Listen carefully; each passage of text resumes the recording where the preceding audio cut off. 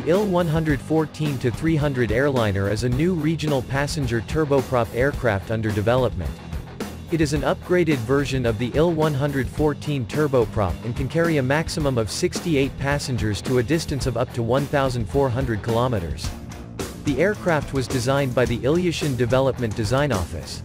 It is being developed by Ilyushin Aviation Complex with cooperation from Rostec Aviation Enterprises, headed by United Aircraft Corporation, UAC. IL-114-300 is a completely indigenous aircraft with its production localized at the sites of the original equipment manufacturer JSC RAC MiG in Luhovitsi and Sokol Aircraft Building Plant in Nizhny Novgorod. The maiden flight of the aircraft was conducted at the Zhukovsky airfield in Russia in December 2020.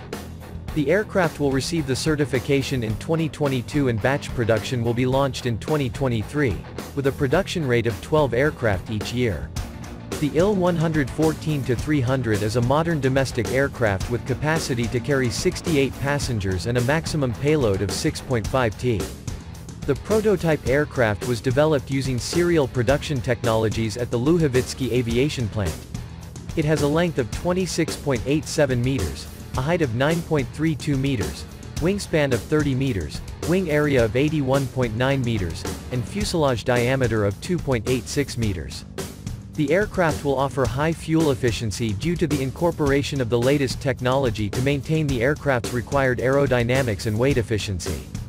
It can also be modified for patrolling and ambulance services with provision for ski and wheel landing gear for operations in the Far East, North areas, and Siberia. The aircraft features a range of modernized systems and equipment such as the Integrated Navigation System, Automatic Pressure Control System, Wing Flaps Control System, Fuel Control and Indication System, Wheel Braking System, and Aircraft Anti-Icing Control System. The flight crew will include a pilot in command and a co-pilot.